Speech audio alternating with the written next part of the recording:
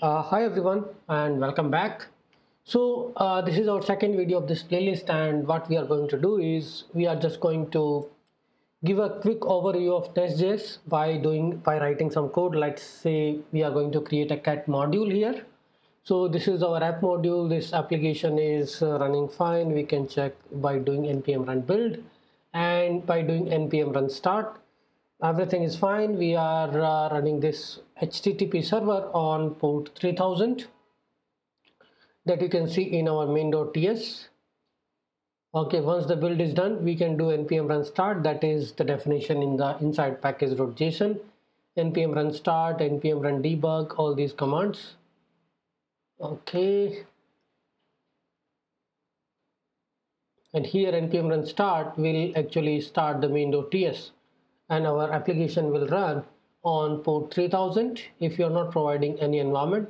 And here you can also use a .env like import um, star from .env and then .env.config or if you have other way around like if you are using config module of Nest.js to populate these process variables then you can use that.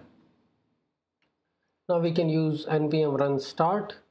It will actually start our http server on port 3000 okay? So this is a very basic application. We don't have any modules yet. You can introduce some. So inside app inside domain let's call inside domain we are going to write a cat definition like cat controller cat service cat dtos and all these things. So let's create them. Here we can actually create a controller. So inside domain i'm directly creating. Either you can create a separate folders so if you have multiple controllers multiple services need to write currently i'm just looking for there is a one core module i'm going to have. That core module is nothing but the, the shared services like i want to write interceptor middleware pipes guards all these things i will put in the core. In the domain uh, i can create a separate separate folder or we can create a controllers.js controller.ts services.ts so here we are going to write cat module.ts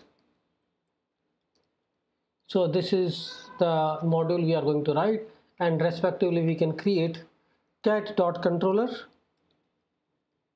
so what are the building blocks of NestJS controller services modules pipes interceptors middlewares right? So we have a controller we have a service cat.service.ts okay? And other than that we can also create a DTO cat.service dto.ts each and every file has their own uh, definition why we are writing.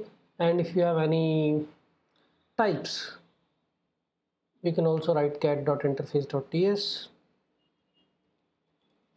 now all these things can be can be inside their own folder like you create a controllers you create a services dtos and all these things. That depends on how much code how much ext extension you are going to do this to this service. Okay so cat module will have all the definitions of all the modules. Like uh, if you if you see the app module definition what it does nothing. It just it's just a single placeholder which defines all your controller services pipes all these things together. Because Nest.js design is like you can say inspired by the angular structure. In angular also we do these things. So here instead of this it will be a cat controller.ts right so we'll just import cat.controller right that is inside our main file and we will write our controller. So let's say what all different routes we are going to define in the cat module. We are going to have a get cat create cat update delete. These are the CRUD operations i'm looking for. So we'll, let's go to cat controller and here we will use these uh, predefined annotations which are specified for controller at the rate controller for the services at the rate injectable for the modules at the rate module. Okay? So first we will do is controller. And let me just get get rid of this as soon as possible. Like these are the very basics we are talking. So I don't want to waste much of our time. Export class get controller and inside this you will be defining all your uh, routes. And simple routes how you can define is just at the rate post. Okay this is the study post i'm writing. And here async uh, create cat. I mean from post it's already clear that i'm going to create a resource. Create cat. Here i will be having some data and here i will be calling some service to create the cat okay we can import the the missing imports. And this is our simple controller. You might have seen the existing controller this that is app controller right? Here we are defining the get definitions. This is the controller definition. Means our routes for this uh, both the APIs will be the forward slash API forward slash health forward slash API forward slash test auth. This is how the route definition will become here we are not providing. That means it's a http gets post. Similarly you can write uh, get put post delete. Get. So let's say I'm doing list all. Get we can import and then delete. If, uh, if you are planning to delete API like delete cat and it can be simply as a remove cat. And it's all TypeScript so you have to you have to take care of what your function is returning what your method is returning and the linting and all. Okay so let me just add this manually get. Delete. Okay so this is our simple controller. Now what we what is a typical convention is controller will have a dependency injection of service inside it. So what we'll do is we'll do the constructor injection. So inside a constructor we will uh, inject this particular service we are going to create. So inside a constructor you can say I'm doing a private read only and I have my service that we have to create first okay so cat service. Let's go create the service. So this service will have basic methods. Okay like create we are just talking about the crud and uh, this can be i will just copy paste things maybe because it's very easy. So we have only two methods in the cat service which is cat service create cat and update cat or delete cat and all these different methods can be there. Okay and we have the cat interface like the definition of cat. What is of type cat? Cat can have a name and all these different different properties. So we'll create a placeholder interface for cat. So that is nothing but the name uh, age and breed of a cat. So that we will define in the cat interface. And we will import it from here inside cat service okay now things are good. We have a service. We will inject this inside a controller. Even we can import it directly if the names are correct. Okay this get service is having export class get service. Inside controller what we are doing is we can just put get service. This we can import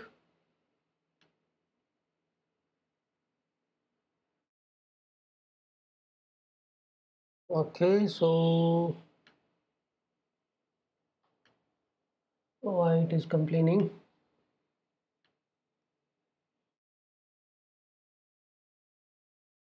And we want to import the cat service. Now we what we have done is we have done the dependency injection. So this will help us to create update delete because we have already have a cat service so here using this dot cat service dot. Now you will have uh, some methods to like create cat update cat delete cat right?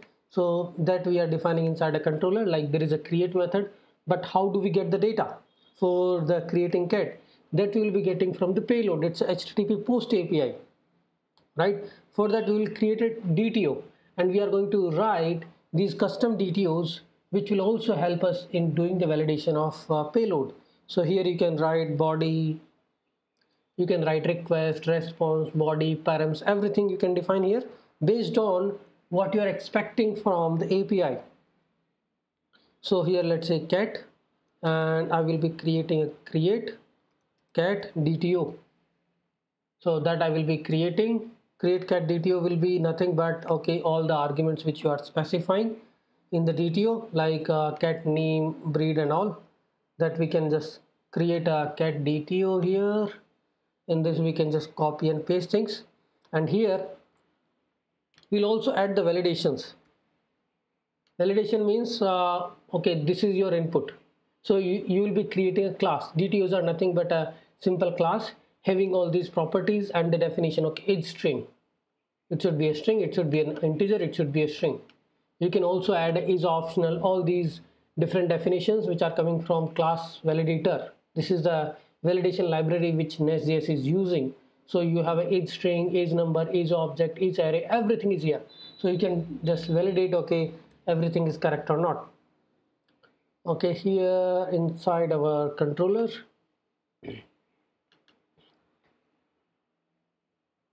We'll just say okay the type which we are getting in the body is of type this so we'll just import the cat DTO and while doing a create we'll just pass cat.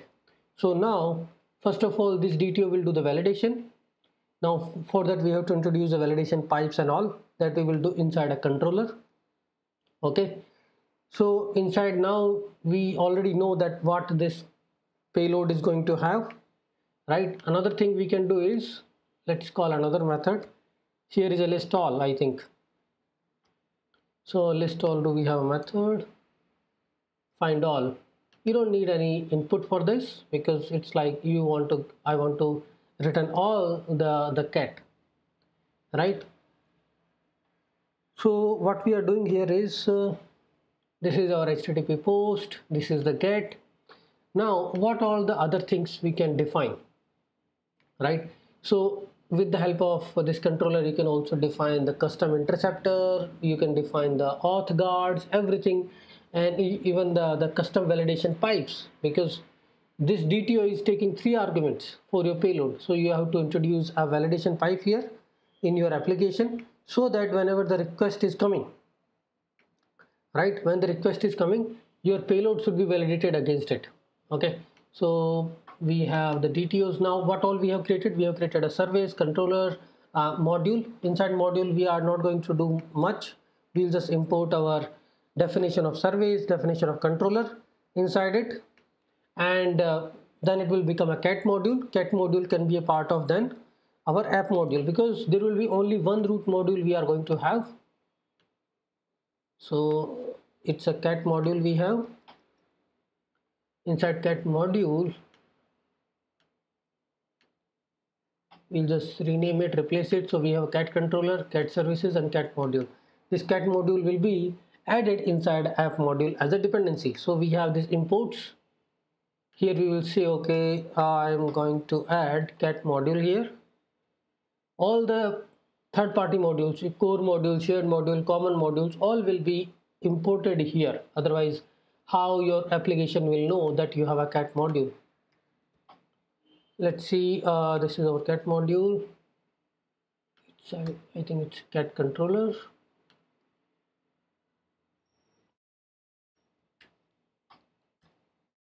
Uh, we put cat controller so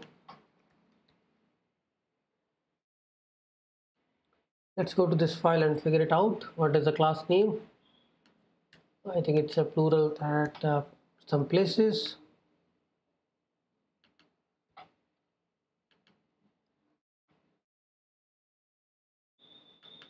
service is fine. I mean either you can go with a singular or plural that is fine. Now this cats module this is not a cat module it's a cats module so the same you will be importing here. And then this will help you to import things okay? So we'll import the cat module and now it become part of the whole application right? Now if we are doing it then this cat apis will also be exposed.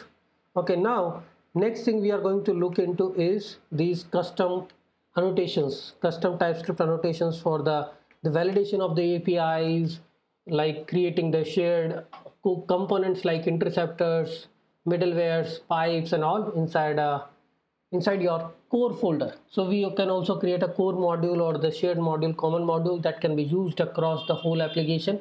You can create a custom logger module, config module, database module as a common module because they can be used by any of your application.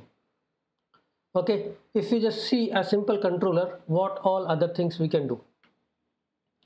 Uh, we have to introduce the validation pipes. We can also use the Swagger definitions to let's say uh, my application is because we are exposing uh, the swagger spec so how to introduce this uh, api definition like the descriptions what is required what is not required all these things how we can do that uh, with annotations so swagger module is providing the annotations for that first of all to enable the validations we have to use validation pipe okay that validation pipe you can add either at the app level or at the, at the controller level.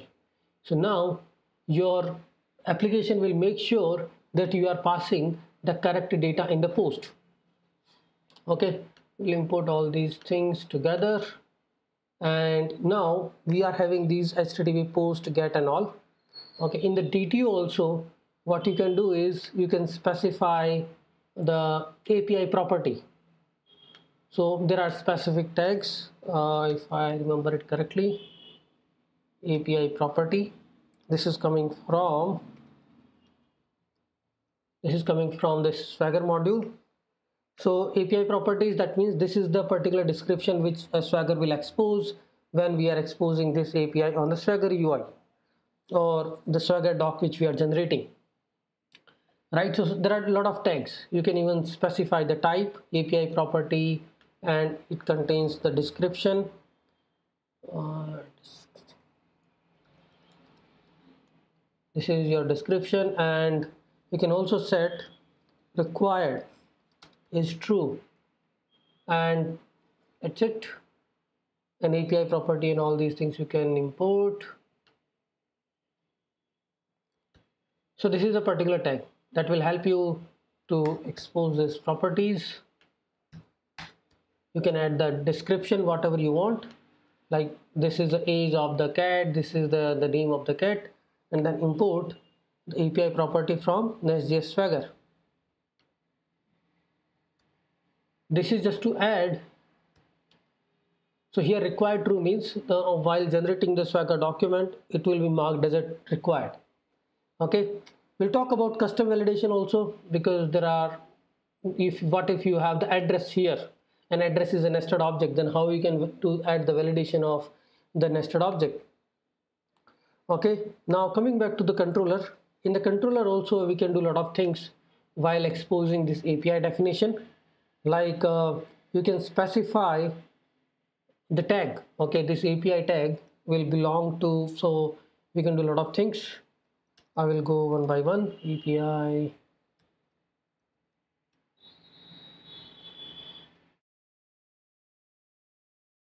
So API tag means uh, this will belongs to the cat group in the Swagger spec.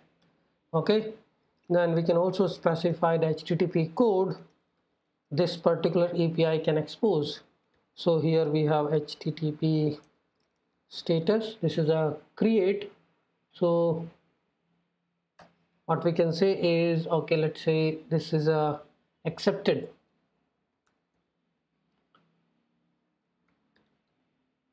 okay we have to import all these things and then there are other tags okay what is the bad response what all http status code this particular api can expose like 500 bad request 200 okay uh, uh, default description of what this particular api is doing. So all these tags you can define. Api operation is there which says okay you specify the description.